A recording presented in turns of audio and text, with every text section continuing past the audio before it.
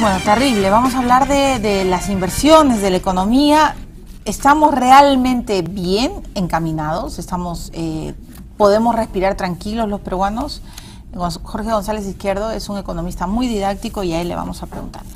He escuchado todo el tiempo en, los últimos, en las últimas semanas decir a los analistas económicos que en efecto estamos bien, estamos encaminados en la hoja de ruta, pero y a la par eh, doctor González Izquierdo, hablan de que obviamente no hemos avanzado en inversión, en infraestructura. Entonces, yo tengo una pregunta de, un ciudadano que no ha estudiado economía, que no es como usted, que no ha sido nunca un ministro, pero le pregunto, cuando uno ahorra y cuando uno tiene un, digamos, el camino encaminado en los bolsillos, pues tiene un dinero, lo, lo cuida, pero lo invierte no lo tiene debajo del colchón. Entonces, tengo esta sensación de que hablan mucho, que estamos por buen camino, por buen, y qué están haciendo con la plata.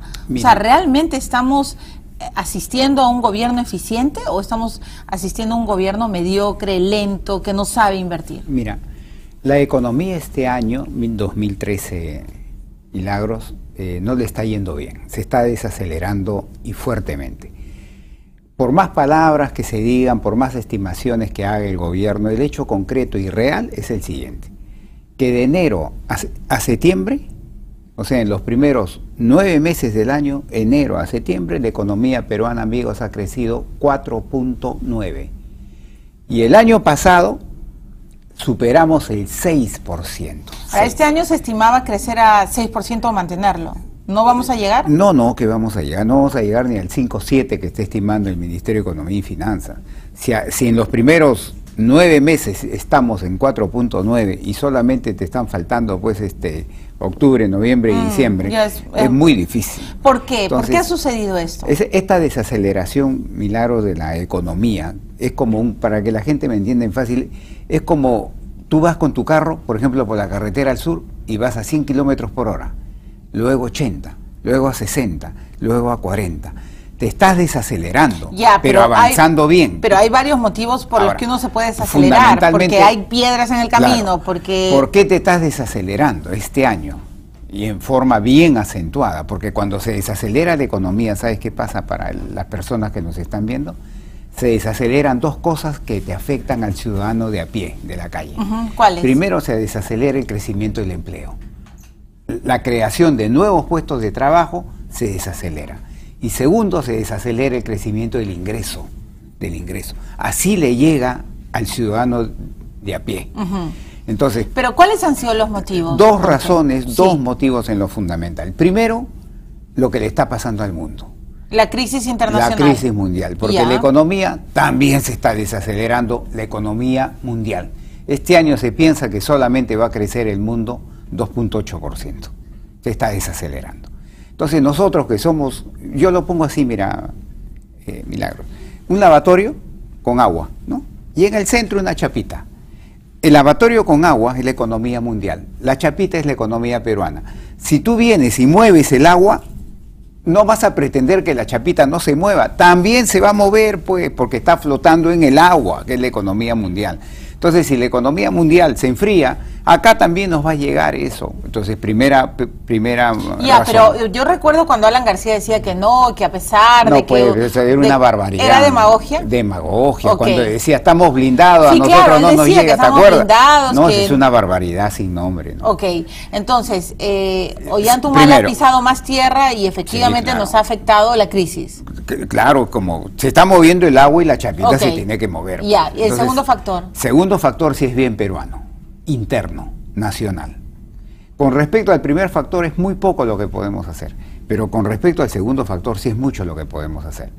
Lo que pasa es que las expectativas, justo lo que hablábamos hace un ratito, del inversionista en primer lugar y del consumidor en segundo lugar, han hecho esto a lo largo de este año. ¿Por una falta de confianza? ¿Por qué?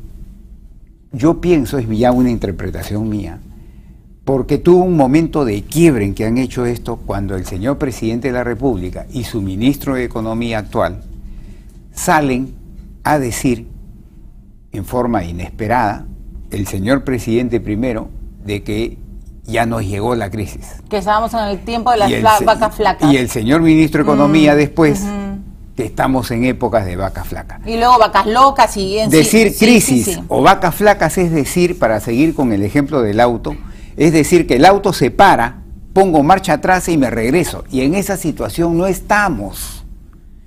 Estamos avanzando más lentamente, pero avanzando. Ya, pero lo que nos está diciendo usted es que nos metieron miedo. Metieron miedo a los inversionistas. Ahí, sí, ahí ves tú que las expectativas del inversionista, sobre todo, y del consumidor en menor medida, hizo esto. ¿Y, cuánto? y eso te hizo que la inversión te crezca menos privada y el consumo privado también crezca menos. Ya, y agrego a esta pregunta. Eh, su comentario inicial. Usted ha hablado del ruido político que también espanta al inversionista. ¿Cuánto ha afectado estas discusiones, la reelección conyugal, de que si me lanzo, no me lanzo, en verdad no nos lanzamos y ahora soy dueña del programa, no lo soy? O sea, y en verdad nos tienen hartos. O sea, déjense de pelear. Eso, puede afectar. eso se llama ruido político que te afecta el comportamiento de las inversiones, de las expectativas. Pero un empresario podría decir, ah, bueno, son los políticos que siempre se pelean, yo sigo invirtiendo. No, no, no, no, no, no, no, no. Tiene su, su impacto, tiene su efecto. ¿Cómo será que hasta ahora, recién a pesar de todo el esfuerzo que está haciendo el gobierno para enmendar, para mí esa metida de pata que tuvo el señor presidente con, su ministro de Economía, Todavía mm. recién están haciendo así las expectativas, un poquito están cambiando. El anuncio eh, reciente, con esto tengo que ir a la pausa, pero quiero su, reflexión em, personal. El anuncio de Humala reciente de que es el tiempo de la inversión, es el tiempo de, acelerar, que vamos a destrabar, que la burocracia no va a empezar a tambalear. Eh, ¿Basta? ¿Es suficiente? Gran parte del retraso que se, está viendo en la inversión privada, especialmente minera, se debe efectivamente a un exceso de tramitología y de permisología. Eso se tiene que reducir sustancialmente. El señor ministro de Economía hace tres, cuatro meses viene anunciando medidas mes a mes en el sentido de reducir la tramitología y la permisología para afianzar la inversión y agilizarla.